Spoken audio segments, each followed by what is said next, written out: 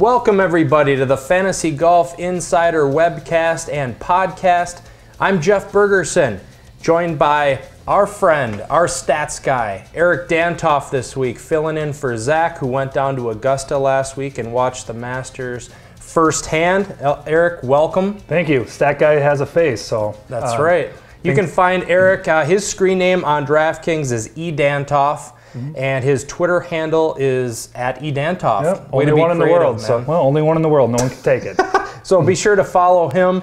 Uh, we are with fantasygolfinsider.com. If you're not a member, go on our site, become a premium member. We got a lot of great content on there, tons of articles every week and tools to do your research to be a winning DFS golf player. Last week was the Masters. Erik, you picked a great week to sub in for Zach. We get to talk about what happened. Uh, before we get going, I have a, a few uh, shout outs to make. People who Yeah. had success last week. Our inbox was flooded, our Twitter was flooded with names of who had success. Uh, Bill Armstrong won, Brian Zell, Austin Greenway, Michael Kopinski, Jared Larson, Mark Mercado. Uh, Clint Jones took 222nd in the Millie Maker out of 200,000 people. Great accomplishment there. Eric Henriksen, uh, Honey Badger DFS, Tim Collins, one of our longest and most loyal members, Daniel Worth, had a winning week last week. Billy Baru uh, at Dollar Bill 300. DFS Golf Gods took second in the 333 GPP on DraftKings for a cool 30 grand. Wow. A So nice that's payday. that's a nice payday. Yeah. Um, as far as our winners for the highest FGI members in the Millie Maker, this is crazy, but they actually tied Huh. At uh, 79th place. Matt Smith and MLB Syndicate actually tied. They both won 1,500 bucks for their accomplishment. To finish in the top 100 is is insane out of 200,000. So. Congrats, guys! Your T-shirts are in the mail. That's that's really awesome. Keep up the great work. I had a guy reach out to me on Twitter. He's been interacting with me using the model.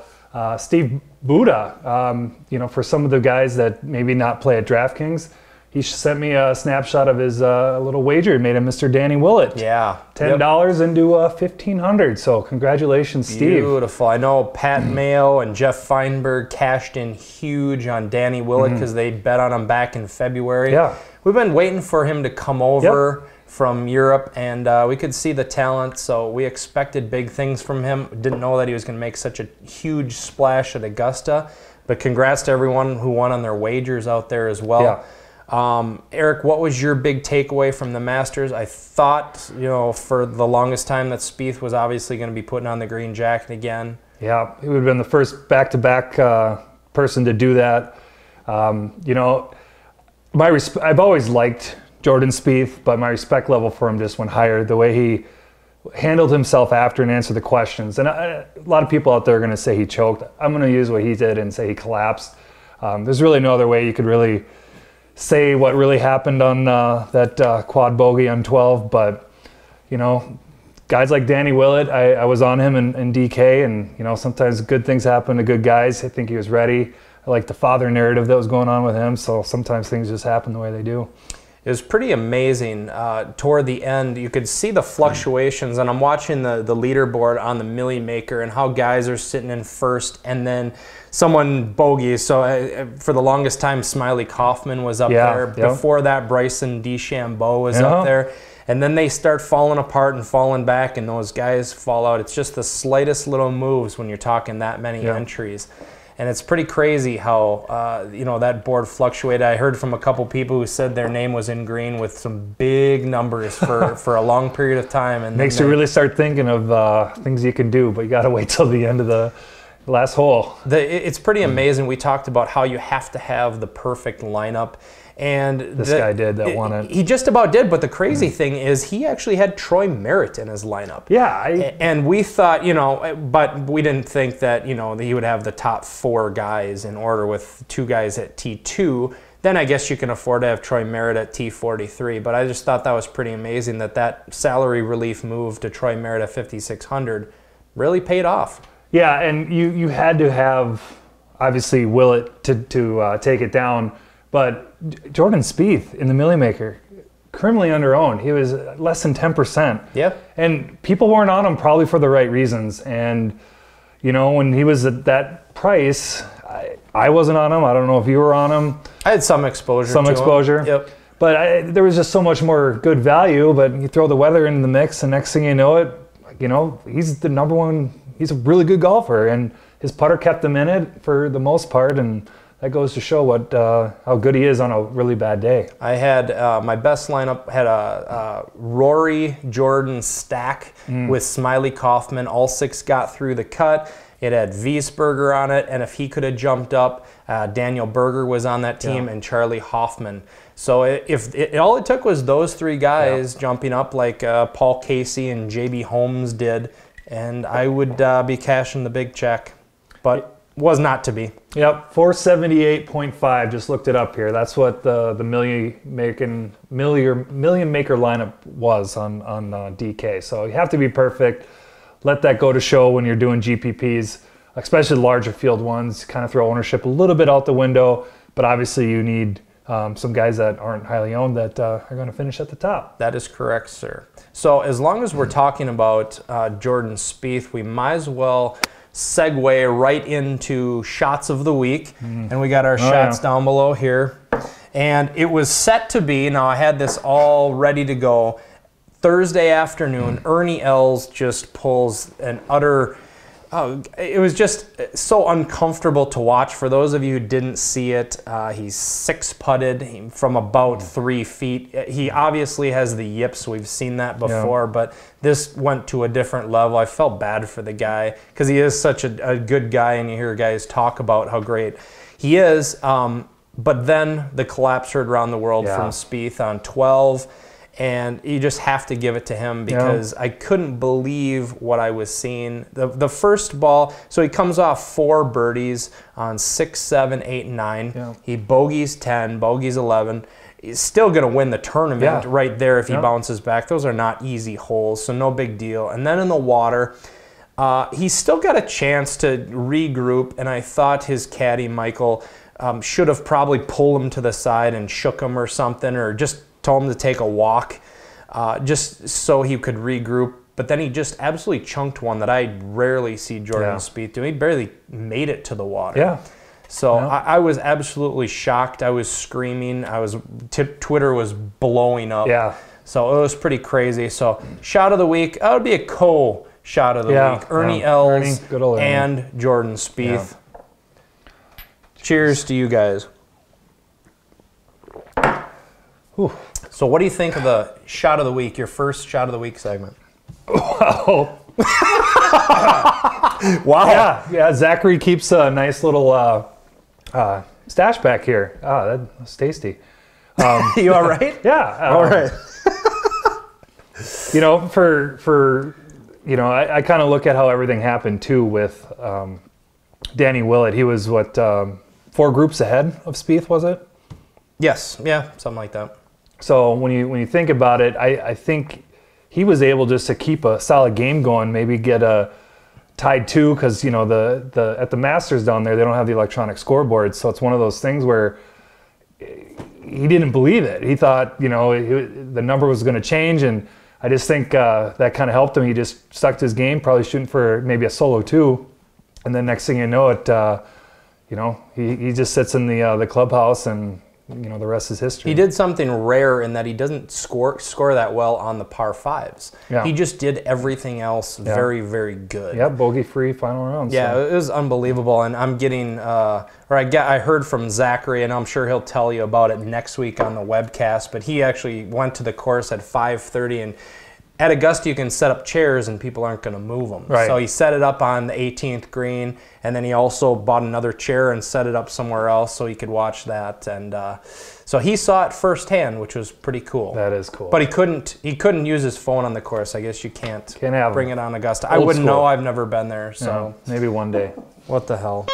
Um, he did win in Wacky Wagers, though. I Oh. need to talk about that. Yeah. He beat a good friend of ours and member, Keith Wire, last week, and we are now the proud owners of the Dwight Schrute bobblehead which Oh, is classic. awesome. Classic. Yes, I am really looking forward to that. So hopefully that'll be displayed maybe next week for our webcast. Yeah, someone's got the uh, Michael Scott one to go with it. Uh, that should be a wacky wager we should accept. So, outstanding. yes. So if you have something that you want to put up for wacky wagers against Zachary, tweet it to us or email us a picture, uh, and uh, we'll uh, battle it out heads up, and uh, and uh, we'll uh, you can win some FGI swag or something Yes. like that. So. Enough about the Masters, Yes. Erik. Let's turn the page to Harbour Town, the RBC Heritage this week Out in South Carolina. down in South Carolina. Um, Harbour Town Golf Links, 7,101 yards. It's a par 71, so we're going to see a lot of the bonus uh, of rounds under 70 this week on DraftKings. It's one of the shortest layouts on the PGA Tour during the course of the year. It's a Pete Dye design along with Jack Nicklaus Yeah. very narrow fairways and um, they're lined with trees and if you get off the beaten path you're going to end up punching out Yep. so it's going to favor guys who are accurate off the tee very small greens contoured Mm-hmm. greens so guys who are accurate on their approach shots Yeah. Uh, the bombers don't come to Harbour Town. You- Right. You, don't see DJ in the field. You don't see Bubba. You don't see JB Holmes. They don't want to play here. Yep. Uh, you see a lot more of the the managers of uh, of the golf ball, the guys who are going to be more accurate. Um, putters obviously Yep, have a yep. have a big advantage, and we see in the stats that they do well. The key stats this week we're looking at strokes gained tee to green as every week. Uh, driving accuracy. Normally, I don't look at driving Right. accuracy just because it's included in strokes gained tee to green, but I want a premium on accuracy this Yep. week because there is such a punishment for going off the fairway. Yep, And we saw a little bit of that actually in at the Masters when we when I did the model. We actually emphasized, em- emphasized driving distance a little bit. Yeah, strokes gained, absolutely. T, strokes gained tee to green is an all-encompassing stat, guys. So it's one of those things where whenever something kind of gets you know focused on, uh, that's usually something I look at a little bit more. Yeah, for sure. Yep, greens and regulation is Yep. another stat. Yep. Proximity to the hole. All of those I'm putting an emphasis on Yep. this week, as well as scrambling too. So if you're not going to be accurate with your approach game, you better be able to scramble, and Yep. those are the guys you see do well year after year here. We also, obviously, I said putting, so we're going to do strokes gained putting as Yep. well. You can kind of see with the field the kind of player that does well here. You look at tournament history, you look at who's playing this week, and there's a similar theme throughout. it's yep. those guys who are accurate, not necessarily bombers. Yeah, when I'm build, building the model here, I, I kind of did a take two because it reminded me of that uh, field when we had no studs and uh, what Dirt McGirt was. Uh, Puerto Rico. yeah, down in Puerto Rico. Yep. So uh, finding some similarities with some names coming to the top with with stats um, with that. So uh, I'll have that ready for you guys. Obviously, uh, hopefully by the end of the night, you guys can use that. Um, but look at those guys and start emphasizing those those key stats if you're if you're using the model. Um, a corollary course that I like to compare with is Copperhead and the Valspar, which happened several weeks ago. Take a look at that field, see who does well there as well. It's the same type of player, and, and you're going to see a lot of those same names playing here Yeah. this week. Why don't we start at the top, Erik, and look at the top studs? Who are you looking at this week? Who are you liking in that top tier? Well, he's the most expensive guy, but I think rightfully so. Jason Day, uh, I think he's just going to come out here and dominate, actually. It's one of those things where he's the, the best golfer of this field by far. His price reflects that. Uh, I think there's enough value out there to sneak him in, which we'll get into later. But this is where this is his type of course and his type of game. And if you look at the competition, I think that he's just going to want to get that current form going again and Okay. get ready for the next uh, next big one. Okay, um, I am going to disagree with you. Oh, Um, I'm going to be doing a little day fade this week, and the reason is is because I think he's going to be the highest owned guy in the true. field, and in GPPs, uh, I'm going to fade him because I think he's going to be owned by 20 some percent, maybe even 30 percent of the field this week. He's coming off the Masters. Um, he didn't play all that tremendously in the Masters. He didn't finish bad, but I think that's just a fact that he is just that elite of a player that he kind of brought his B game and still played well. I don't know. I, it's kind of weird why he's playing this week. Um, Spieth normally plays here. Uh, He needs and- a little time to recover. Yeah, he does need to recover from that. But so I'm going to fade Day a little bit. I like some other names in that top tier. I like Brandt Snedeker this week. Yeah. He's been hot this year. He's you know he won at Farmer. He's got four other Yeah. top tens. Great current form. Looked good at the Masters last week. Elite putter. Great t- uh, tee to green game accuracy wise. So I'm going to be looking. I'm going to be going with a lot of. Um, him this week. I also like Kevin Kisner as well. Mm-hmm. He showed that he can play well. Made the playoff last year. Finished, you know, runner up to Jim Furyk in the playoff. But his uh, his game really fits well on this course.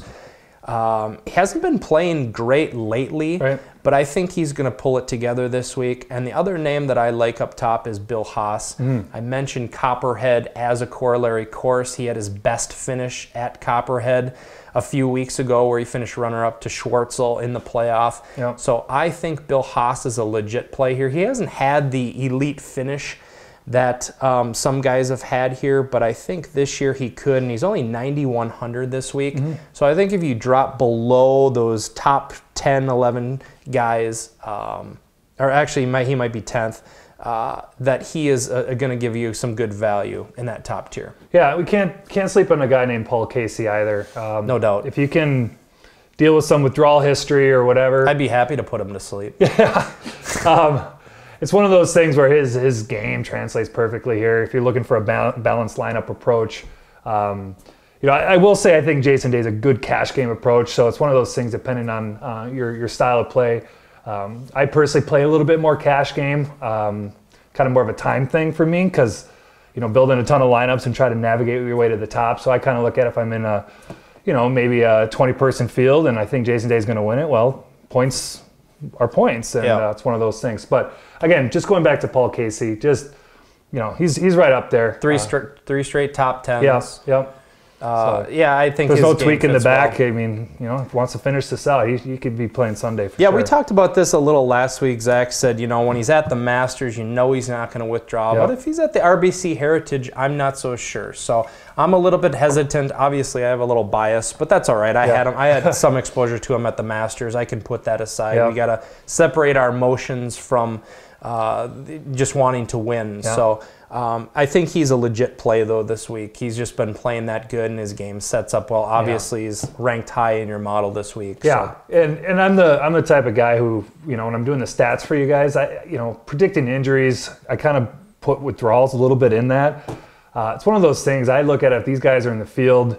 Um, you know, I don't think they want that black mark kind of on their name. I know it happens a little bit, but again, Paul Casey, I, I, I like him for both cash and, and GPP. So dropping down to the middle tier, uh, a couple guys that I'm looking at this week. I do think Luke Donald is going to draw the attention of the masses because of his outstanding tournament history.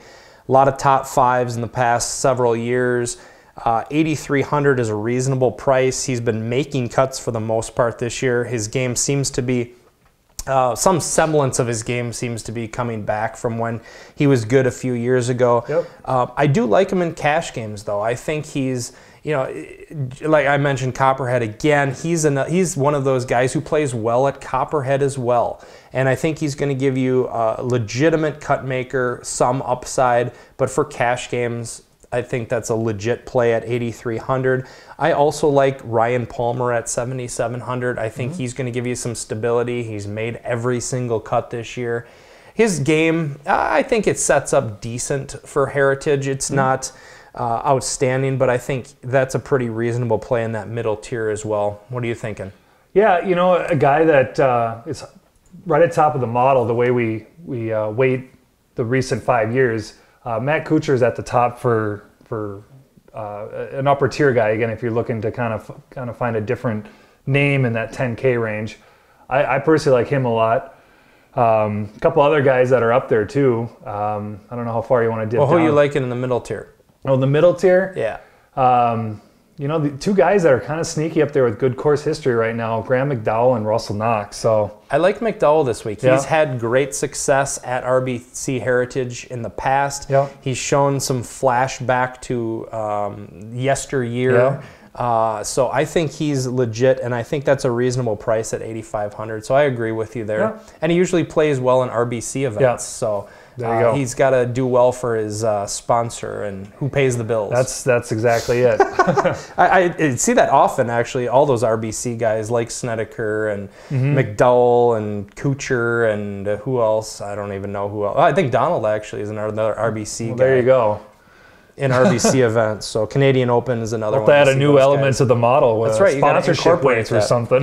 no doubt. So the Under Armour Open, you Yeah. can have Spieth. But Yeah. um, Russell Henley, I think, is a sneaky pick at 8100. He was awful for a long stretch, but he seemed to bounce back his last time Mm-hmm. out. So I think he's legit. I think his game sets up well here. He burned me big time last year. Yeah, though. it was harsh when he missed the cut, Yeah. but.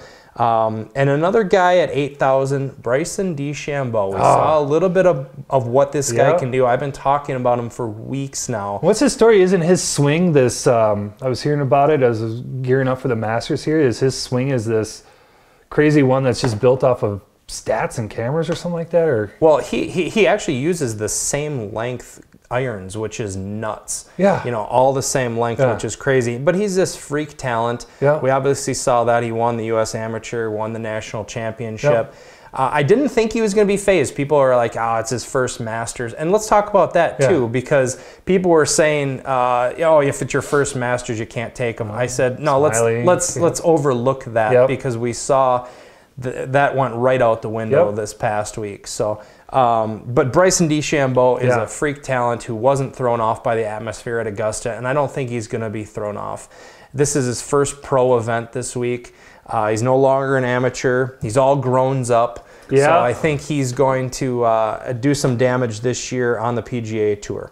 yeah, it, it's one of those things where if you're ready to, to kind of take the plunge on a guy like that, I mean, he's he's at eight thousand bucks, so it's one of those things where you kind of think sometimes, you know, a guy that's still kind of up and coming isn't that high yet. He's surrounded by some guys that uh, have a you know a lot more PGA Tour experience and um, you know playing on this type of a course, but you know we've seen it happen before. Sometimes when guys are good, they're good, and you know I think he's all about. He if you saw him at the on the camera when he's getting interviewed at the Masters, he almost had a bigger grin than than Danny Willett um, with how with how well he performed at the Masters. So So I'm writing down. I'm doing my research on Friday night. I'm I'm starting to dive into RBC Heritage, and Matthew Fitzpatrick is just lighting up my my my stats and everything else. And I have him targeted. And then the weekend comes. Now I was high on Fitzpatrick coming into the Masters. Yeah. So he was in my GPP core. I had about 40% exposure to Sure. him. Unfortunately, in the Millie Maker, he was paired with the wrong guys and he just didn't match up. So I didn't have a shot in the Millie Maker. So it was one of those times where you're kind of rooting against the guy that you Yeah, have yeah. so you can have him the next week. Yeah. And I'm like, God damn it, he's playing too well over the weekend. He jolts up the leaderboard, cat's out of the bag on this guy. And his price goes up too. And now he's in the top 10 pricing Yeah. this week. So I was pretty pissed off that uh, he did well last week, even though I had him on a lot of rosters because I've had him several events now on the PGA Tour Yeah, this year. yeah. Legit, legit talent. Yep. So um, going down the line, uh, who are you liking in the lower tier this week? I know you're a Dirt McGirt guy. Yes, you know he's he's been. Say what you want, Zachary, when you see this, but uh, I can handle Dirt McGirt. Uh, he's proved himself uh, enough um, to make sometimes the optimal model. a couple of you guys some cash, you know, and, and when you can find the right scenario for Dirt, Is this the right scenario? I think so. I mean, right. I've been surprised. You guys have been surprised by this, but you know, he's coming up there with the stats that we're looking at, and I think it's one of those things that if he just has his head screwed on straight for the first uh, first couple days, I mean, I, I think he can be someone that could easily, you know, top twenty, top ten. You know, I don't think he's going to win it, but it's one of those things where his skill translates here. he has come up on the optimal lineup. Now, I tend to go away from dirt in cash games. Yeah. Even though the optimal says it, Yeah. I have you, you know, zero him out and not Yeah. allow him into the optimal sometimes just because he is incredibly streaky. Yeah. And he and we've seen him just plummet and miss the cut. So I don't like him in cash games. I don't generally like him in I know, general, I know. but this week I kind of do. Yeah, huh? Uh, I think he's a legit play at 7100. He's a South Carolina guy. He's Yeah. had success here. I think his game fits well. Your stats, Yeah. you know, say he lines up well. So I'm on board this week, not in cash, Yeah. just in GPP. Yeah, and I'll just say this too. We, we talked a little about that, and I don't know how much uh, the, the FGI users think about Cash and GPP. Uh, I'll just say from being the stats guy with you guys now for from the beginning of the season, I've seen a lot of variance uh, with this. In And- golf? Yeah, No, it's up there with baseball. no variance. Yeah, I'm a big baseball guy too, which is a very extremely high variance sport.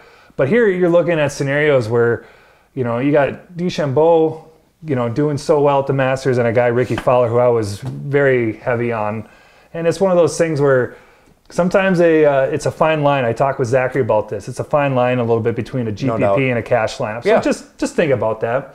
Um, just want to touch on Jason Bohn though too, just because. Uh, Ah, I feel Jason Bohn. yeah, okay. you know, I, I when I found out he WD'd, um, you know, it's, it just changes your perspective. Like sometimes people when they say that, they, they you know they're like, oh, why'd you withdraw? Well, it was kind of a serious deal. So I, It wasn't a hangnail like I know. Paul Casey. It was a goddamn heart attack. Yeah, so and it was a serious legit. one. Yeah, so I'm very curious to see how he does. I, I you know, I'm not at a point I can recommend him for cash. I- in this case, cash. Uh, for sure GPP because I think everybody's going to do a wait and see. But Yes. his, his his game translates very well I to this agree. type of course. I so. totally agree. I'm on board with Jason Board, Bone this week because I, I'm on Bone with Board. Uh, um, I do like him this week because I do think he's going to be under owned because people are going to be leery of Yeah. him because of that heart Yep, attack. I've seen it happen before. They always kind of have to wait and see. Well, if you're the one that can Yeah, but here's advantage the, of it, here's the deal: the guy's not going to be out playing if he wasn't medically cleared That's by what I think, doctors. too. It, it was a heart attack. Yep. It wasn't, you know, uh, a sore elbow or Right, something right. where it could uh, come back up and start lingering or something Yeah. like that. So if he's cleared to play, I think he's ready to go. Yeah. Uh, I don't have too many worries about that, and I think that's legit down there. I also like Jerry Kelly at 6,800. Oh, yeah. He's going to give you a lot of cut making, you know, cut making ability, some salary relief. Yeah. He's you know he's only missed one cut this year. He, he's made the last six at RBC Heritage. So how does he come up on the stats? Uh, he's obviously a good accuracy guy. um, with with Kelly on stats so far, our emphasis. Now, the, the key thing with him, he's going to make the optimal more than likely based on his course history. Yeah.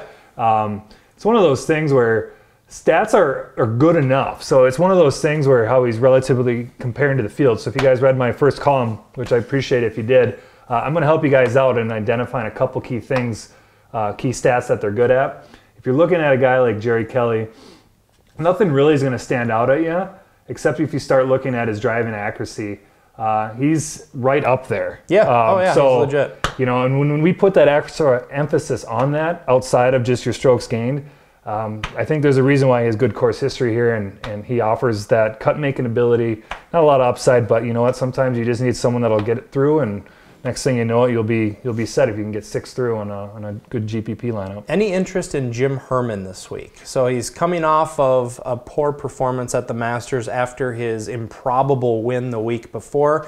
I thought there would be a letdown at the Masters. I had zero exposure to Herman, but this week, this course kind of fits his game well. He's a greens hitter. Uh, I think he could do well, and he's only 6,500. Uh, uh, any interest in him? Yeah, uh, again, looking at the key stats, um, driving accuracy is right up there. Greens and regulation is right up there. Yeah. Um, you know, and it's one of those things where you know the bounce back is is you know happens all the time, and it's one of those things where uh, you you got to find these guys in the right spot. That's one thing I've learned from you guys and doing the golf and the stats for you guys is the course means a lot to these type of golfers, and you can tell by this field which ones want to be here. Um, so I, I actually think that he has a he has a good shot of, of of doing that. So if you're trying to do a whole stars and scrubs approach, you know you got him and Kelly.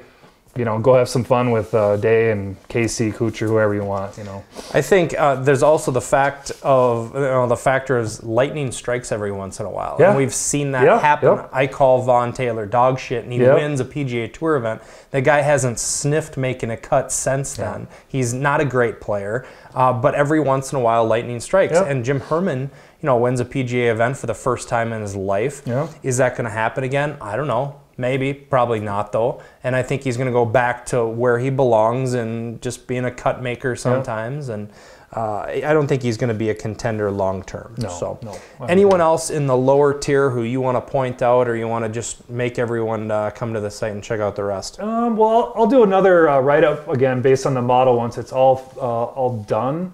But if we're looking at again stats alone, which you know, again, I'm the, I'm your stats guy. you know, name. I can't tell just because you're staring at your computer all the Yeah. time. Well, that helps me. That's where my thoughts are and everything like that. But I talked about him once on Twitter, and I know you guys are going to laugh at this because of his mustache, but it's one of those things where Johnson Wagner and Oh his, Lord Almighty! If he figures it out, though, it's one of those things where he has the stats based on uh, uh, last year and a little bit this year. That if he can figure it out, he's another guy that's a pure GPP play. Trust okay, me. all right. It's not one of those things, but I go when you. I, I've, I've learned from doing this model for you guys that guys are up there when we weight these for a reason. And you just said lightning strikes, and he, he did. Fair did enough. he have a decent bounce back at the uh, before the Masters? What was that one? Because no one was on him, and then he's missed all these cuts. So I'm also kind of thinking the law of averages need to start coming back to play. So Send your complaints to at e dantoft Yeah. on Twitter for Johnson Wagner recommendation. and if he wins it, you you tell the whole world that I was the one who told you about him. If he if he wins it, you can sit in the middle of me and Zach here next week. What do you think of that? Oh, okay. I, right. I, how about a top five? That's a little more realistic. No, no. Okay, he has to win it. Lightning's got to it. strike. He's got to win it. And you can sit. You can. I don't. You can wear the cowboy hat. You can do whatever you like next just week. yeah, you, can, I'll just you name it, buddy. Yeah, if Johnson Wagner wins this, start tournament. working on the other uh, top shelf stuff. here. Now, if I call him dog shit, he might have a chance. Yeah, that's usually what happens with you guys. You guys are kind of that. Uh, We have that dark magic. Yeah. So on Twitter, I'm talking to uh, um, who was I talking? Oh, Perry. Uh, from Project Roto Yeah. yesterday, and he's saying, "All right, we need you to whip out this dark magic." Yeah. And I know Zach is on the course. I, I don't know because I'm not communicating, but I can sense.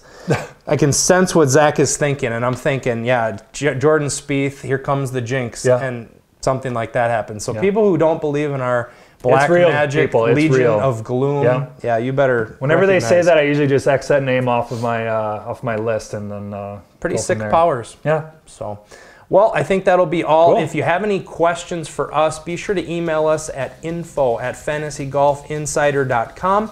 Also, this is uh, in uh, podcast form on iTunes, so be sure to check us out there. Give us a five star review.